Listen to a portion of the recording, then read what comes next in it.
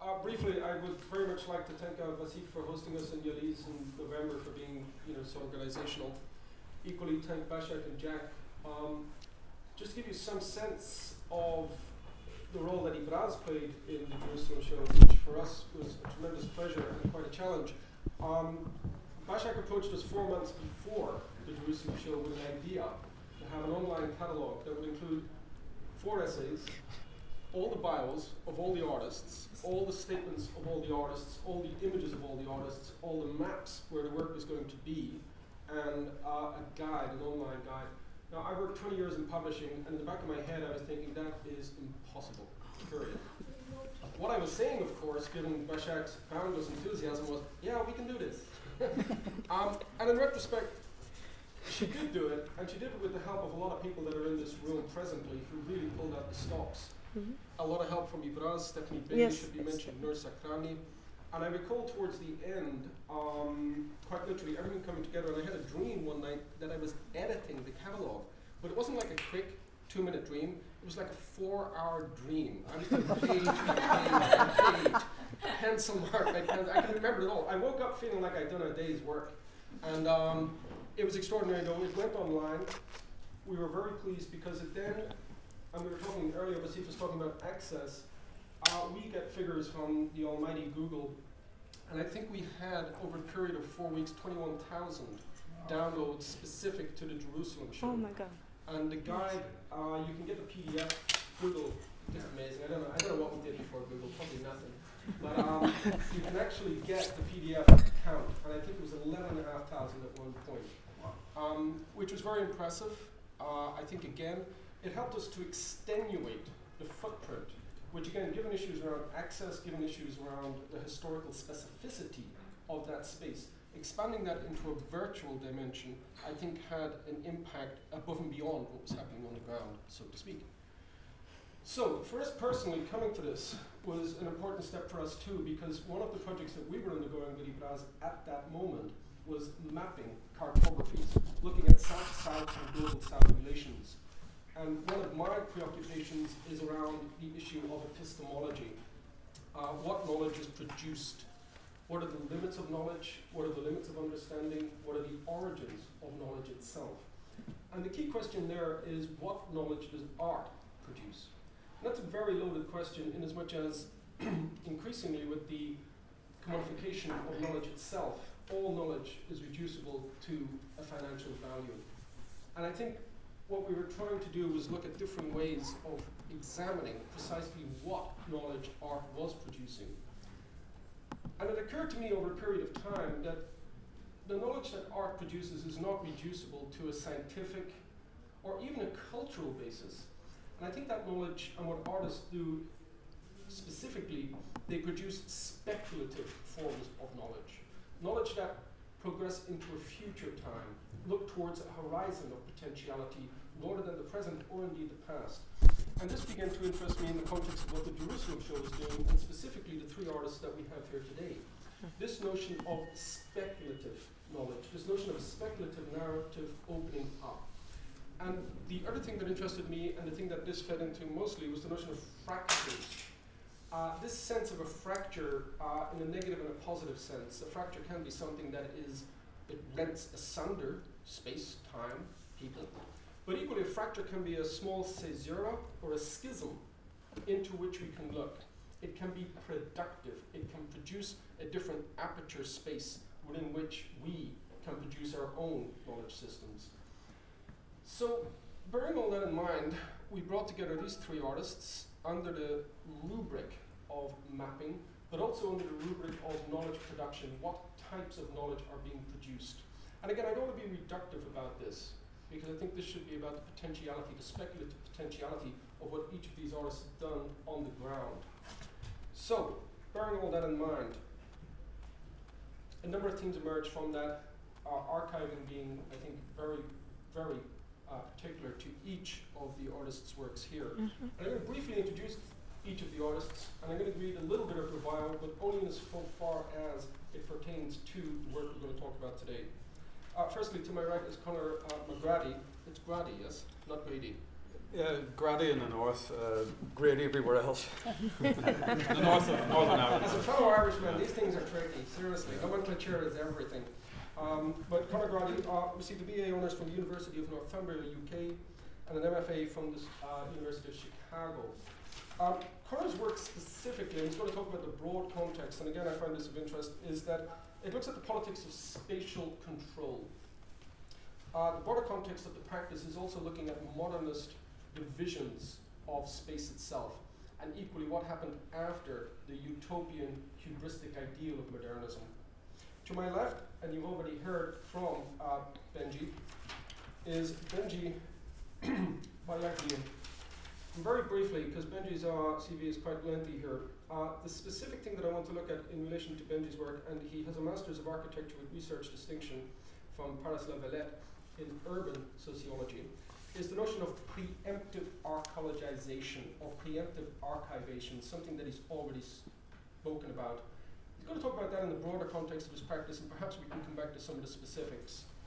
To my far right is uh, Gülsün uh, Mustafa. Let me read very briefly here, folks. I'm just going to give you a list, and there's a point in me giving you this list. Uh, graduated from the Istanbul State of Fine Arts Academy. She's participated in the second, third, and fourth International Istanbul Biennials, the third Gwangju Biennial, the eighth Havana Biennial, the third Cetinje uh, Biennial, the first International Biennial of Contemporary Art Seville, the 11th International Cairo Biennial, the third Singapore Biennial, the first Kiev Biennial, the fourth Thessaloniki Biennial, and the 10th Gwangju, and the 31st Sao Paulo Biennial. Now, obviously she's biennialed out, but you should just have a biennial in your honor, actually. Gülsün's going to talk specifically about cognitive mapping as an artist engaging in an itinerant practice. And again, I think this is part of the broader context, perhaps, which we'll come back to when we start looking specifically at these artist practices, and when we look more specifically at how they map alternative cartographies, or indeed transnational cartographies that open up perhaps other spaces for knowledge to emerge. So, without further ado, I've asked each of the artists to prepare a five to six minute presentation on their work, which they will now do. Um, I think we may take it in the following order. If we go Gülsün, yeah. Conor, yeah.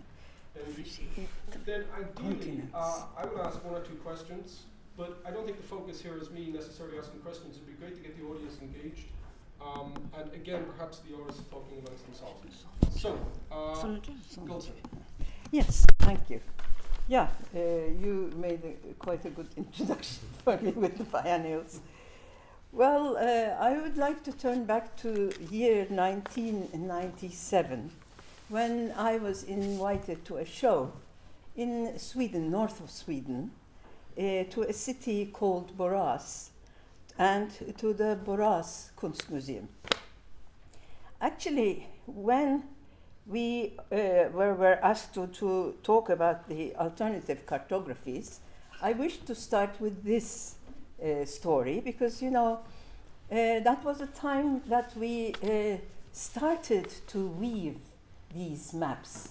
You know, it started with the beginning of 1990s and now this uh, system has grown into something very, very strong, actually. Uh, in the list of this exhibition, there was Nedko Solakov, Jimmy Durham, Carlos Capellan, Fernanda Gomez, Zubin, Ann-Sofi Sidén, and other artists, like I can't remember much. Borås was a very small city uh, and uh, a center for textiles where uh, you know, only the clothing industry was taking place. There was one museum which was not, you know, very exciting, but for us at that time, it was a very exciting offer because it was a museum and it was uh, an exhibition which brought together all those uh, important names I could remember. And uh, for that exhibition, I as an artist who is based in Istanbul, uh, the name of the exhibition I should mention, it was Around Us, Inside Us. And for that, while I was going around and trying to find uh, a, a, a, a, creative uh, moment for myself, I came across these very small uh, jackets the uniforms for the kids in one part of Istanbul.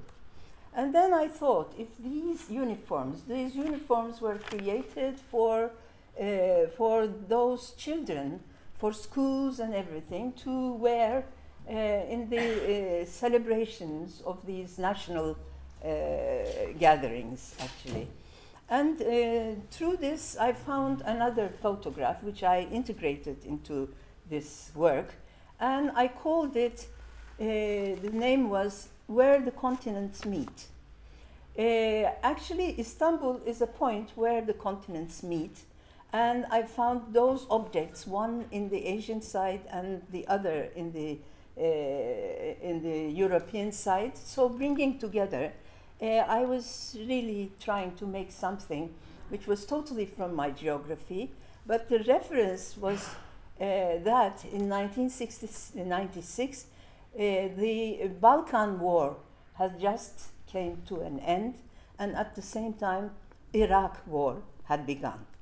So with this work, I went to Borås, Borås at the north of, uh, or north of Sweden, a cold city. It was cold winter, and there I found my friends who were, uh, all of us were interested in these small uh, exhibitions because you know uh, it was just the beginning of everything.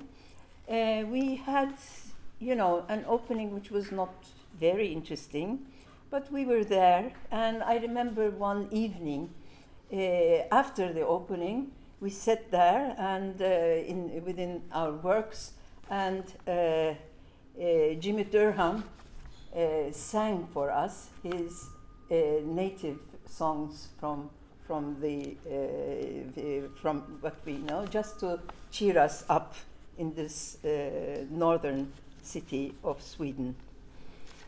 Uh, actually, what was our expectations from this very lonely and cold city of the north? Was it the power relations that we were asking for? Which kind of uh, power this was bringing us to us? Or what was our urge to push forward to those points in the world to, to show our work and to communicate ourselves? Uh, actually, we uh, did create a, a, very important cartography, an alternative cartography, with all these artists' work moving from one place to the other and creating these relationships, give and take, and so on, with all these movements that we made. And at this point, I would like to talk about my map of travels.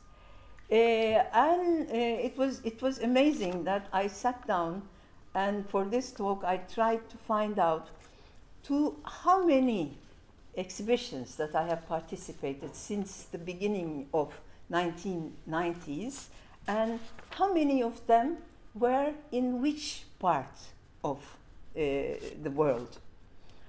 I found out an amazing list uh, because I have showed in Germany 42 times in Germany, 32 times in Austria, 15 times in Italy, 12 times in Switzerland, 11 times in USA, 10 times in France, 7 times in Holland, 6 times in Sweden, 6 times in Korea, five in Greece, four in Spain, three in Romania, three in Denmark, Canada, China, Kosovo, Serbia, Cyprus, England, Slovenia, India, Bulgaria, Israel twice, Albania, Japan, Algeria, Cuba, Montenegro, Bosnia Herzegovina, Belgium, Macedonia, Taiwan, Slovakia, Czechia, Armenia, Georgia, Egypt, Australia, Portugal, Singapore, Mexico, Ukraine, and Brazil once. So it makes up to uh, 196 exhibitions altogether. But I'm not boasting about, this. I'm not uh, making a scene with uh, saying what I have done until now. No, this is a list uh, which any of our artist friends, if they look at their CVs, can find out according to their ages, because I'm coming from an older generation, uh, according to their age uh, positions, they can find this kind of a map and they can find that they have invested so much into this map making of contemporary art. So, when we come to, uh, to, to the point where, when we are asked about alternative cartographies or what art is doing while, uh, you know, while artists are going, rushing from one place to the other, Başak rushing to Macedonia uh, and then to, to, uh, to uh, Jerusalem and then uh, immediately to Canada or something like that. You know, uh, this is the thing what we have done uh, within this 25 years, uh, the last decade of the 20th century and the first 15 years of the, this, this century. And um, actually, uh, the, the, the, our works really create links between uh, the cultures. Our works I think, do whatever they, ha- they are up to. You know, mm-hmm. this is what I can say now. I can. Thank you very much, yeah. Nelson. And perhaps this is something to come back to because obviously, as much as contemporary art has been a critique, partly a critique of globalization, it's been a key agent in globalization, if not on the vanguard of a neoliberal ideal of culture somehow opening up borders. Um, and in many ways, it has been reactionary. And what you've mapped there is almost the flip side of what we consider contemporary art to be. Um, perhaps we can come back and talk to Jack and uh, Başak about that shortly. Okay. Yeah, so some recent uh, thematic concerns that I think uh, should hopefully expand some of this uh, discussion a little bit. Uh, I'm not going to go into a lot of depth, and I'm also going to be presenting on some of the, the work from the Jerusalem show later on uh, today as well. But very briefly, you know, um, the the basis of my work, or a big uh, thematic uh, strand in my work, is the, the, notion of architecture as a signifier of sociological and geopolitical control. Um, the roots of, of these concerns uh, really lie in my own background growing up in, uh, uh, in a divided uh, territory, territory and, and, and, and with similar to a certain extent, although there are many dissimilarities to the Palestinian situation being the, the Northern Irish conflict. So the idea of division, partition, separation uh, has been sort of uh, integral to my own development as a not just as an artist but as a human being. So, so the work has its roots in this sort of idea of architecture as, as a as a form of mapping and controlling uh, movement and terrain within the broader framework of an ocular-centric society, the, the idea of the, uh, the nation state or the, the state entity as a, as a, as a panopticon, as a, as a form, as a means of ocular-centric uh, control. So just to give you some of the, uh, again, just some earlier work from a, a few years ago. Um, so in some of these works, the built environment um, is really consi uh, considered a, a framework for surveillance, extraction, removal, uh, the containment and the, uh, the, the disappearance of unwanted populations in a sense. So some of these works, you know, again, deploying idea of the cul-de-sac as a, as a means of uh, entrapment in a sense. So the modes of representation I'm working on rely predominantly on the process of drawing as a means of investigation. And, uh, and the, the, approaches to drawing include the utilization of the fragment, the system, the sequence, the idea of the insertion, the idea of the intrusion, and the idea of the epic or the bombastic uh, in terms of uh, how we look at visual representation of uh, the domination of space.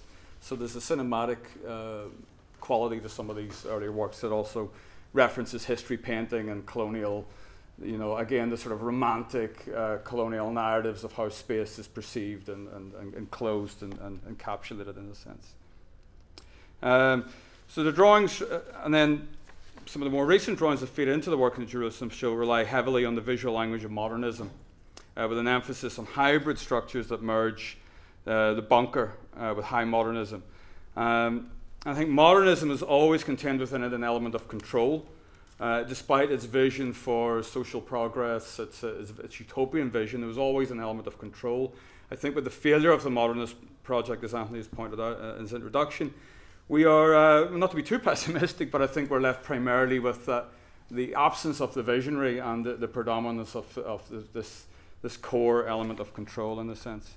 Uh, these are some of the, uh, the, those previous images from uh, another uh, project uh, created by Başak, the biennial in uh, Konjic bunker near Sarajevo in Bosnia, just to give you an idea of the space. these are just some of these small uh, giclée prints that were inserted into the into the sort of labyrinthine structure of this of this uh, bunker. And again, some of the, you know, this use of sort of figurative representational imagery that has gradually been reduced uh, in the practice overall. So, uh, so coming to the, uh, the, Jerusalem show, in particular, what I'm really interested in, uh, I was looking at three, you know, I didn't get a chance to, to, I'm going to talk in more detail later, but I didn't get a chance to do a preliminary research trip. So I was sort of uh, thinking, uh, you know, again, some of the thematic concerns that had been very prominent, prominent in my own practice, such as ideas of uh, geopolitical control and sociological control. So I think that, you know, that was really the starting off point for the basis of the work in Jerusalem. And, and just being in the city for a few days, these three themes really emerged. Uh, ideas of enclosure, intrusion, and erasure. So I'm just going to read you uh, I mean, I could ad lib, but I think I just it's easier to put notes down on paper. So enclosure references not just the idea of uh, geopolitical enclosure or ghettoization, but the idea of the state as a form of ideological enclosure. Ideological mapping of, uh, of place in Jerusalem is an attempt to recreate the idea of the city as a fortress, uh, with the Zionist project being analogous to, uh, to that of a walled garden, uh, a keep, a bulwark.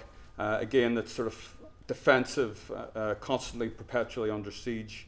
Uh, that's again defined on a meta level by uh, ideas of protection and nurture. So enclosure also connotes uh, ideas of entrapment, uh, ideas of, of, cellular structures.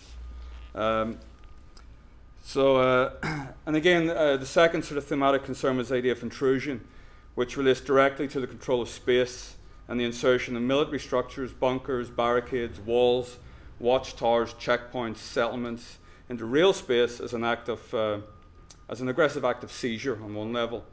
It also relates again to ideological intrusion, uh, to ideological absolutism, to a, a, totalistic form of thinking that is predicated on the removal of the other. Uh, the architecture of intrusion, like that of enclosure, deploys geometry as a weapon in the control of space. Um, so the architecture of the hammam is defined very much by the circle and by the labyrinth, but, but also uh, uh, by ideas of space and, and, of light. So in a way, for this project, I'm inserting these, these hard-edged, brutal, brutalist uh, bunker-like forms uh, into this space to really engage in a dialogue between the, with the spatial dynamics, in a sense. and again, erasure um, is very much about the act of removal. The utopian, the utopian narrative of a tabula rasa, of white, uh, purified space, of empty landscapes and urban palimpsests. Uh, the use of trees has been well documented in, in terms of the, uh, the colonization. Uh, the, the Zionist colonial project to cover over ruins, uh, you know, even Benji's project probably taps into this a little bit as well. Um, but it's ultimately defined by uh, the, the, creation of the void, the blind spot, not just geopolitically in real terrain, but also again in terms of this inability to, to see the other. So these are just a few slides. I'm going to, later on, I'm going to go into more detail um, when I give an overview. But just to give you a sense of some of the broader thematic concerns and how, again, how, how cartography and how map making is, is both a contested um, discipline, if you like, uh, particularly when we look at ideas of colonization and conflict, uh, but also how maybe, again, how artists can, can create counter hegemonic uh, narratives or counter-hegemonic maps to, to contest and open up, and uh, this, uh, you know, this, the dominant framework for control to, to make it a more, uh, a space of possibilities in a sense. So I'm just going to leave it at that. Thank you, Conor. Uh, Benji's just going to put a slide in. No, just an image. I'll let you. Do you want to switch over? Or? Yeah, it doesn't No, matter. it's okay. okay. Um, so I'll speak as um, Which one, Benji? mentioned. I'll speak a bit about my practice and uh, the notion of heritage, and also this cartography notion. Really, This to Rachel Stone. Rachel Stone, Stone. yeah. To touch to this. So this is a project I just finished like two weeks ago. Um, and it's all related to cartography in a very literal way also. Um, but before that, so yeah, I'm a painter. I want to, want to introduce my practice. First and foremost, I was trained an architect and all kinds of questions of territory interest me. Moving back to Palestine, I mean, to a, such a contested place where maps are contested, the way we perceive space, the way we, the way space is sort of um, interests me a lot. I mean, we can talk about, for example, the division of the West Bank into three zones, zone A, B, C, as something we don't really perceive from afar, but we know it when we're there. The wall itself being used as a lure of a division into two entities. Uh, so I always use maps in my projects, and I'm very in the project of the Jerusalem show. I was very interested in this void, the space in between lines, this buffer zone, what is going on there, studying that. In relationship to that project, also what interests me is like the writing of history, how we construct narratives by the heritage that we choose to select. I mean, in, in heritage, there's always a question from who do choose an, a heritage, what purpose will this heritage serve, and ultimately this heritage will create a new form of narrative. So we have a lot of things that are sort of lost with lost in our uh, in the way like historians or ideologists, political ideologists uh, write history. So in my work, I want I'm interested in questioning all of that, whether it is um, through creating an archive of uh, some kind of uninteresting heritage like I did in, for the Jerusalem show, or I had done another project on patterns, and it was a whole question of who, what is the history of this pattern, who they belong to, is it a common heritage that is, have boundaries, or was it more an exchange of cultures? Um, and another topic that interests me also, in particular there in Palestine, is the mutation of our culture, how we pass from something that we can call traditional culture to postmodernism, course with the modernist utopia to our era today, and everything that is lost in between. So this is a bit for my practice now. For the I wanted to just talk a bit about cartography here because in one of the questions he was asking. Um, I don't have the questions under my eye, but um, do you have the first questions that you asked? I should do, shouldn't I? How do we engage with How do we map alternative? artistic production as a form of social engagement? Okay, so in this case here, I think this is why I chose to show it. It's, this view doesn't exist for the public. You can go to Google Map and check it out, and you'll notice that this zone is pixelized. There, there's a refugee camp. It's under clouds.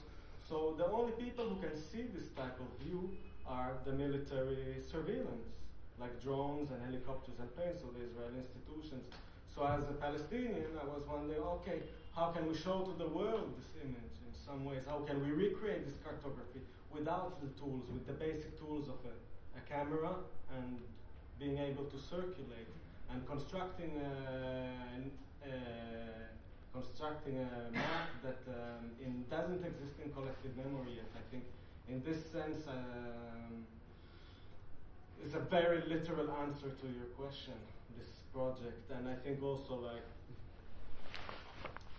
uh, yeah, it also like there is some kind of social engagement in it because you also were talking about that. As in, yeah, there is things that are unseen by people abroad. The imagery of the way or the way it, this country is portrayed abroad, I think, is kind of also for me being somebody that can read maps and know how to understand maps and how territory functions. It's important to use the art as a tool to convey this. Of course, I don't claim I'm gonna um, show the whole reality, but just assert a little bit. give a little bit of a hint of what is going on, helping easing people to see the problems related to the way this country is perceived from abroad, because of course um, it is totally controlled, the perception of what is going on there. And yeah, and then I always, um, coming back to my practice, I was saying, I, after architecture, I switched to into painting. I consider myself more, more a painter, but I do think uh, it's not a question of, for me, painting has essentially become a tool in order to convey conceptual ideas. For example, the question of heritage and preventive archaeology in the Jerusalem pro show project, in this project, uh, recreating a map totally out of like scratch with hardly any tools, just by drawing, just by using the tool that I enjoy the most using.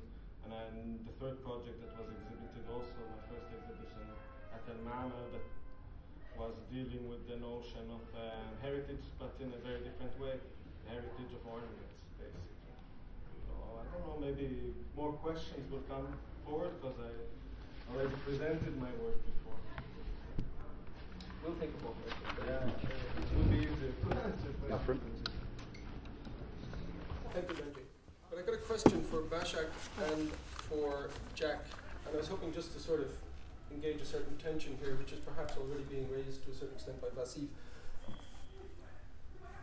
What we have heard thus far is a form of cognitive mapping, which Gülsün has amply outlined as a kind of almost a sketch of globalization and contemporary art, and the biennialization of contemporary art being a map that perfectly maps globalization, that neoliberal will towards the politicization of culture itself. And then we drill down to a more granular detail in that form of cognitive mapping, which is much more specific to a city.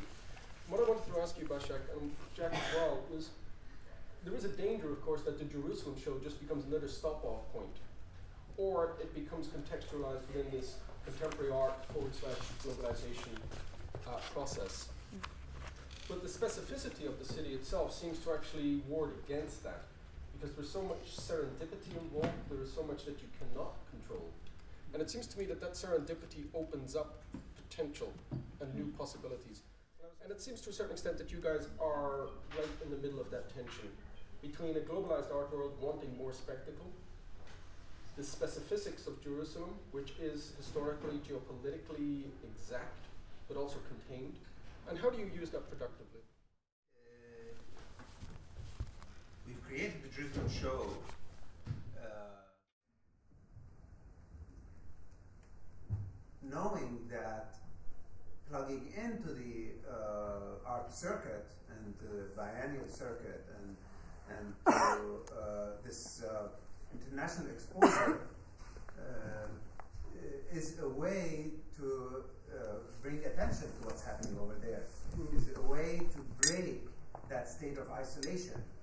Is a way to go against the policies that the government is enacting on a daily basis and in a way to maintain uh, a certain kind of um, multiplicity of voices and uh, uh, where otherwise what's uh, what gets disseminated, particularly through the official channels, is a is a very um, it's a very controlled story that basically um, that basically uh, pushes Uh, that geopolitical uh, uh, context within, well within the, the heart of the Israeli Zionist uh, project.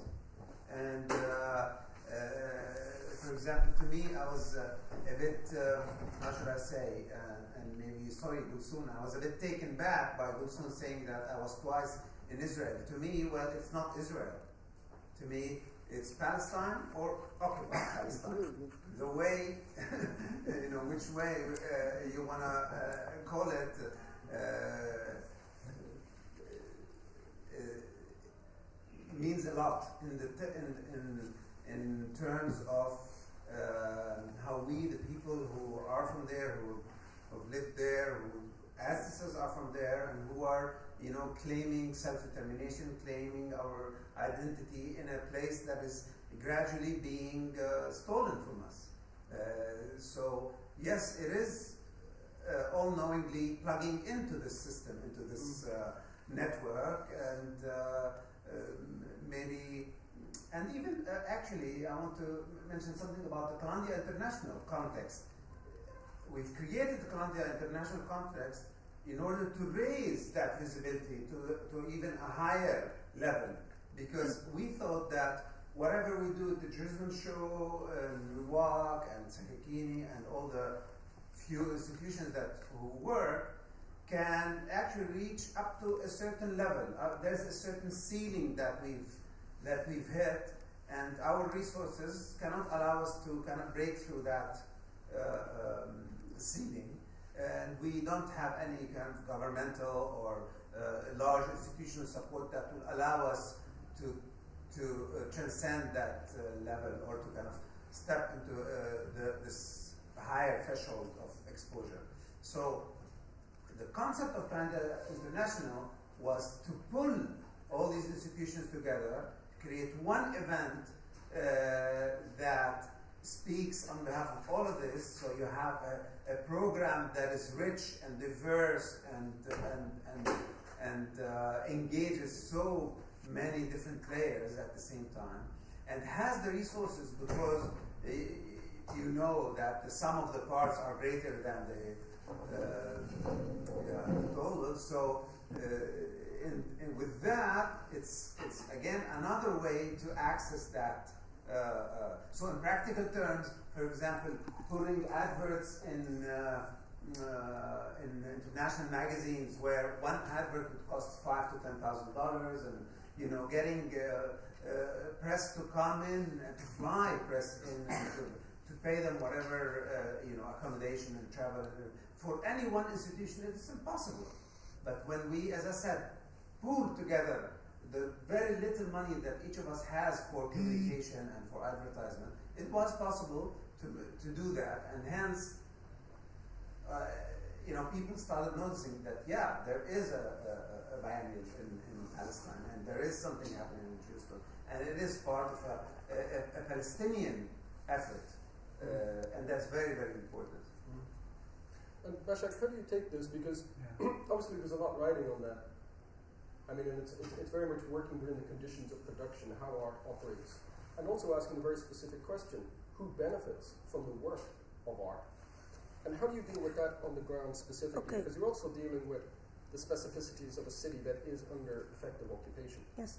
Uh, well, I must say that, uh, like all through the summer, uh, I was in contact with the artists talking because, um, like, it was the situation was really severe, and it, there was like 50 days of war in Gaza, and uh, children are being killed, and we were working on a project. So it was like I questioned myself hundreds of times. What am I doing there? I mean, am I joking? Am I going to do art there? I mean, what else I can do? And we've been talking about this with all the artists. I mean, uh, through emails, through Skypes, and through phone calls. And then I've been uh, in touch with Jack and Al Ma'mal about this.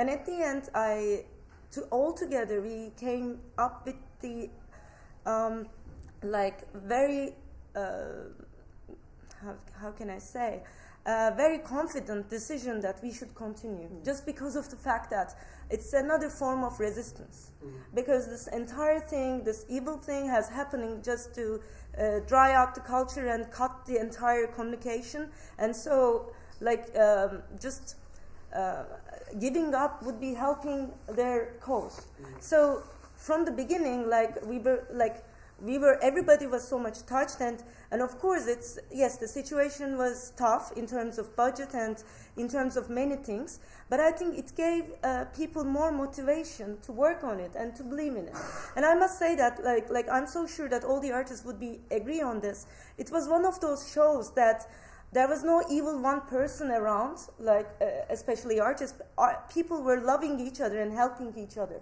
and it it, it has become such a energy uh, based uh, process, especially the last uh, week of the production to continue to finish, mm. and it was a very tense situation. Yes, but and then as you were saying, of course, there were hundreds of accidents, there are hundreds of impossibilities coming to your way. And uh, every time you were finding a solution, uh, and with each and every project, we, uh, we have plan B, plan C, plan D, plan E, and so forth. I'm not kidding.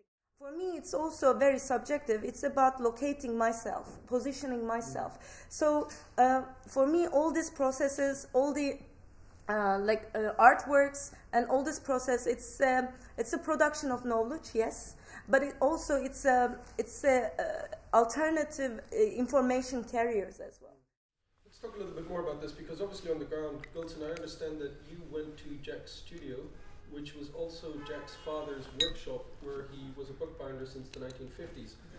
And you walk into the space which is being offered as a space to work in, but in fact you work with the space. So again, another moment of serendipity. Could you talk a little bit more about that? Mm, I, I will talk about this, but related to this discussion, I Yes. would like to add one thing.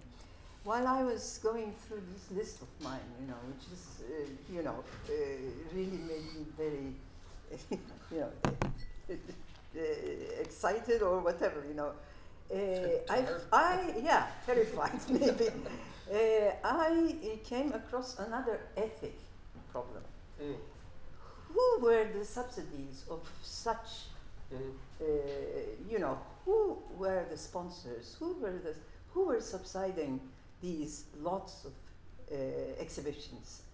Uh, why I was there and how I was invited and how I said yes and so on. All were in front of me and all were to be thought over. But I might say that with every uh, exhibition that I have participated, there was some kind of a discussion like this. And many of these exhibitions that I have participated, or the workshops, or whatever they were, there was this, for example, I, I worked with alternative groups, groups for a while, and many of those uh, exhibitions were created from nothing, without Mhm. money, with, with, uh, with such uh, possibilities that artists were contributing. And uh, there is one side of it that is totally uh, for the, you know, uh, for, for, for the capitalist uh, part of it, we may call it, or whatever you call it, but there is one very sincere part of it where, uh, like, like now we're discussing with the Jerusalem show or with the others, there is this uh, other sincerity going on. So I really appreciate that. And speaking feeling. of that, when you entered that space, uh, Jack's father's space, um, this notion of sincerity, because you didn't want to change anything when you went in No, there. You wanted no, to work no. with the actual space, the fabric of the space. Uh, actually, uh, with with the Jack's father's space, it was like an immediate uh, confrontation and uh, feeling that I should be here. You know, you, you were together with your brother, and that that gave it another feeling that uh, you know this was a very close feeling for me also. Those two guys, you know, brothers. Uh, they opened up the door and they showed me inside this. Oh, they said, this is the gallery, you know, that you may use for the show. Well, the gallery, okay, it was a gallery, but it was not a gallery. I, I immediately sensed the uh, feeling in there. And I said, what was it before? And uh, Ya şey resimlere geçelim şey yani. Senin sizin resimleriniz. Tamam. Uh, and I, I, I, I said, yeah, this is, this should be something different because, oh yeah, it is our father's workshop. Then I began to see everything around it, you know, the, the, the material which is around me, which belonged to this uh, guy who, who's his, uh, Jack's father and so on. And uh, what I wanted to do with the material, you know, not to change anything. It was there, it was living, it was there, but you know, it has been uh, lived in other, other ways and so on. And also, uh, what I did was to take out uh, whatever inside the shop to bring it into sight and then uh, find out about his about the material the book book binding material that he had done there were few not was not not many and put them into the vitrines it, uh, the, the shop had a wonderful vitrine on it. Nothing was changed, so I just pushed something forward and then I tried to. What, what I added was uh, the material I found in the, in the internet related to bookbinding. I found out that they were all uh, uh, sketches. You know, they, they, they were always describing how to bookbind and so on with, with, with some sketches. So maybe tomorrow I will talk more about them. And uh, those were pushed into uh, you know, I, I made, uh, I put them on the on the walls, and that was it. That was it. Mm. Uh, what what I did was for the front of the shop, a new uh, a new uh, title. That was ya şeyi gösterelim. Ne? Şuna bas. This one. Huh. Yeah, uh, and this was what I made. And the story, of course, was about a man who had, uh, you know, who was a bookbinder and who was to bind everything in his life his family, his thoughts, his whatever he was uh, taking care of on, on this slippery ground like, like uh, Palestine or like Jerusalem, which was very important for me because, as you see, to survive in such a territory is not very easy. Mm. So that was it. What's interesting there is that this is effectively a homage, but it's also, to tie back to what Jack was saying, it's about ontology, it's about origins. Yes. It's about, to a certain degree, the ideologization of history and historical sites. And that comes across very markedly in Hera's project, this sense of origin, what was there prior, what has became to that knowledge, what has became to those sites. And I just want to turn to Conor briefly, because Conor and I were talking earlier about the context of Northern Ireland, state control, in relation to Jerusalem, but the distinctions. And I think the distinctions are much more interesting than the similarities. And I do recall Belfast, going to Belfast in the 70s, and you would see uh, the PLO flag everywhere. Um, and it was literally, it was, it, it was commandeered as a sort of um, an attempt to create a transnational sense of insurgency. But that in and of itself, I think, created more problems than it actually created solutions. So for you, Conor, bearing in mind that you were working with social practice, that you were working with notion of control in the context of Jerusalem, I'm conscious that you didn't have much time to do this research. What was specific to Jerusalem that drew you away from that original thinking? Uh, well, very much uh, the sense, uh, well, the, the very visible, I mean, the, the Irish context has, has shifted, has changed. There is a peace process. Despite that peace process, Belfast is a city that's carved up by 51 walls. So even though there's a sort of a quiet Cold War, I mean, occasionally it gets hot, but there's a, there's incredible uh, social, uh, political and social division in Belfast uh, post peace process. But I suppose, but, but going to Jerusalem, and there were a couple of different factors. One was this very real uh, manifestation of control, uh, checkpoints, police, um, you know, access to the space. The very sense of the space, you know, from you know the hammam itself, that the, the settlers are, you know, commanding the uh, the, the tops of, of buildings around. This sense of a space that's uh, under that is itself under siege. So in a way, there's two the, the siege analogy, if you like, it, it operates on two fronts. It's, it's part of the Zionist project in terms of that sort of siege mentality, which is often used in terms of the Northern Irish context too. But it's also very much about uh, a besieged space that's um, attempting to hang on to its, uh, its, its, its presence, its identity, uh, in a sense, uh, or, or it's, it's part of the social fabric of the city. So I think that that r- very real tension uh, w- was, was one of the key elements. Um, that this is, a, and I suppose the key, that's the key word. The key word is tension. That there's no, there's no space is free from politicization, free from those dichotomies of, of access, of control. And I think, as Jack was saying earlier, how do you open those spaces? So in a way, there's, there's the attempt to protect those spaces and to, to maintain them, but, but, but also this idea of how do you open them up, how do you make them accessible, how do you you know, uh, engage them as a site of dialogue, of, of discussion, um, and, give them uh, give them new meaning, new context in, that- in that sense, but under under very specific conditions of, of, of duress. I mean, Mm. that site was, was you know, I'll, I have an image later I'll, I'll show when, I, when I'm talking about the project in more detail. It was shut down as part of this, uh, you know, because it's so close to the um, uh, Haram al Sharif. It was shut down for a number of days as well. So, um, so I don't know if that answers the question, but it's, uh, you know, but the very real, I mean, and, uh, the title itself, I you point out, I give the body of work as peripheral vision, and it taps into what Başak's saying, that I'm an outsider.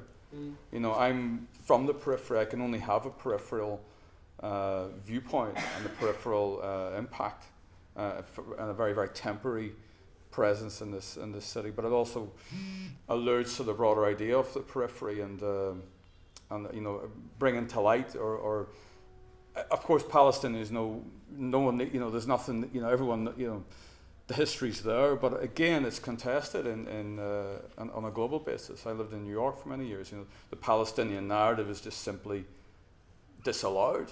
You know, it's, it's, it's only allowed under, to creep through the cracks under very specific circumstances. It has to be balanced with the Israeli perspective. You know, Mm. so again, so this idea of the peripheral vision is also about how you place yourself as an artist in, in, in, a, in a specific space, but also these broader narratives of, of how that space itself is uh, conveyed in, in broader uh, political terms. I don't know if that answers the question.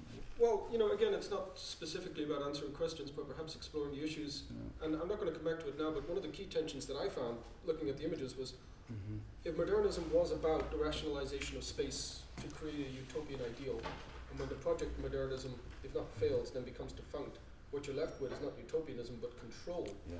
But what interested me about the images was you're still drawing upon a modernist aesthetic, which I could see Malevich and Lissitzky, for example, Mhm. to progress this critique Mhm. of the aftermath of modernism. And perhaps you're going to come back to that later, but I, w- I want to turn to Benji because as much as there was a sense of ontology, looking at origins, where things are coming from, and I think that was very prevalent in Hera's work too, there's also a sense of teleology, where history is leading to, where are we going if we continue on this path.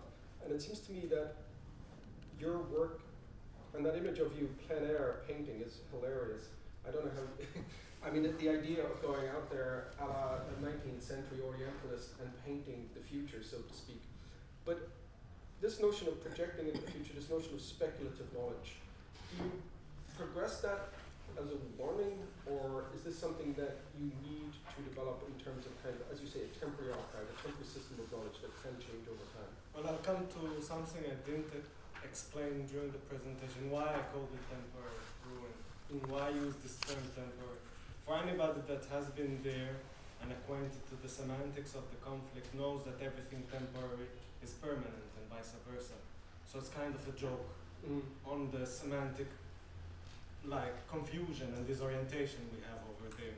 And so yes, it's for me a warning in more of a sense. I, it's a permanent ruin. It's this. It's not a temporary ruin. The temporary also is a hope in some ways. I think um, although the modernists failed with the utopia, and I think that is because anybody that read Le Corbusier Manifesto of Modernism knows that it's a pretty fascistic book that wants to recreate a per- person, a, a ex nihilo. It doesn't exist. But I think artists and me in, in my practices, I have to convey utopia. Mm. This is very important. Convey another idea. As a Palestinian artist, I don't want to fall into the victimhood. Mm-hmm. Um, into the victimhood, um, like iconography, it doesn't interest me at all. Because also maybe who I am there come from Arme- Armenian minority. I also am half European, so also to position myself as also being very peripheric there or being from the void, from the between Mm. space. And I think it puts me in a position where I can, I have the tools and I can like, um, like be, Mr. Yeah, I'm trying to warn not to fall into the mirror trap of writing a state nation narrative which is totally a false Mm. construction of history and reading of history. And um, yeah, history. We, anybody that knows a bit about this place knows that there's so much history there, and it's very disputed. Depends on depending on who's narrating it or not. And if you want to look back to Hera's project and the whole problem of the name of that place, and you can go even further into looking at what was the incentive of the archaeologists, the first neo-romantic archaeologists who came there. They wanted basically to justify the Bible by their findings. And it's, a, it's something that really served the Zionist um, agenda in some ways. So yeah, to answer your question, yeah, I see this as not as a warning, my work more as a warning. Mm. And this archive, sorry to interrupt, Benji, becomes a critical archive. It's Yeah. an archive that's, it's not to do with the past, it's, it's archiving the future, so to speak. It's uh, projecting into the future. I think of people like Rona Sela, who writes about critical archives, Ariella Azoulay, and so forth. Folks, in the spirit of engaging the audience, um, I would offer, you know, would anybody have any comments or questions for the artists or for Başak or general asides? I have a question for Benji Boyadgian um, about the last project that he showed, the recent one. Uh, I was just curious about the method uh, that you followed while you were executing the project, and I'm especially interested in a performative dimension that might have transpired with you going about surveying the places you depict, which is a view that is not allowed. Uh, So to you. Uh, and then the second question that I had was why is it important that this view meets the public eye? I don't think you have. Um, you're trying to make a weak statement like this was the best I could do to, you know, uh, make very little space open to all publics in this city. Uh, So the first thing I will invite you to do is to go on Google and to check out the area and see and see the lack of information that left from there. So from then, the tools I used, I could have obviously gone to get more topographic maps or better satellite photography or something, but it would have costed me much money. Mm-hmm. But I would, I would have never been able to find a three-dimensional view, like a bird's eye view, and like any other city you have in Google or yeah, street view. It doesn't exist over there. So the tools I used is basically I became the street view. I took a camera and my bicycle and biked all around the area, constantly photographing. Like every angle, climbing on like 10 buildings, the tallest building, photographing everything. And so then to construct the whole topography, of course I had a map. I had a map because I needed to see a bit, needed to find a bit where I am sited in space. But I built everything by feeling of practice of territory, basically. And it's also because this is a commission for an exhibition that has to do with pilgrimage. So I thought as a concept it would be interesting to create like a link with all the old cartographies, the old, the old maps that were drawn from three quarter from bird eye view. So that's also the link. The concept became very like I, I like totally immersed myself in this concept of recreating this map with really like hardly any tools.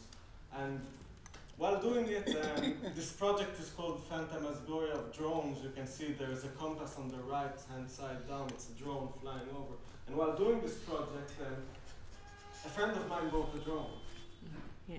And, and I was trying to tell him, yeah, let's go fly the drone over there. He's like, there's no way I'm going to fly my drone over a military base. And now this project was commissioned because you can see the wall does this really weird shape and it's that's the shape to annex a tomb. There's a dome on the left. It's called the Rachel's tomb. It's uh, for Christians and Jews. It commemorates Rachel's. For Muslims, it commemorates one of uh, Muhammad's slaves, Ibn Rabah. And it's a very contested area. So they made this whole wall, the whole like, they laid out this wall in order to annex the tomb and make it specifically and only a synagogue. So the theme around this project was shared and disputed religious spaces around the Mediterranean. Now I kind of downplayed it because for me it's a project I never ever would have imagined to done. Just because I always thought, yeah, I don't want to start doing things on the wall and how we're closed in. Because it's not my reality, I'll be honest, I'm a Jerusalemite, I have an idea, I can go back and forth. That permitted me also to do this project. You know, I have to be honest with who I am in that situation. Like Conor said, he was a foreigner over there, so he could only place himself that way. So that's maybe why I downplayed it, because for me it's a problematic project also to do such a work. And in order of also what I believe I want to do as a Palestinian artist, I want to transcend the victimhood and I want to transcend our borders. That's for me the most, uh, that what always, I put it as the first, the cornerstone of any project I'm. Thank you, Benji. Uh, any other questions or comments, sides, limericks? Anybody? Okay, I'm sorry. Anybody? Okay, I'm conscious that we kept you from your coffee break. I'd like to thank Jack, thank Başak, thank Fasih for hosting, thank Conor, Gülsün, and Benji. Uh, they will all be talking more about their practice. Actually, Benji has already, but Conor will be talking more about his practice. So will Gülsün. I know that Başak will be talking more. Uh, a quick plug for the Ibraaz. Uh, the catalog's up there. Uh, a lot of work went into it. There's all the other statements. You can download the guide. You can download the essays. Um, all the images are there, and Başak and I are going to upload images of the installations. And I think we're going to use this discussion to write up a report which doesn't put a top on it, but perhaps progresses some of the ideas for later iterations of the Jerusalem show. So, ladies and gentlemen, thank you very much. Thank you.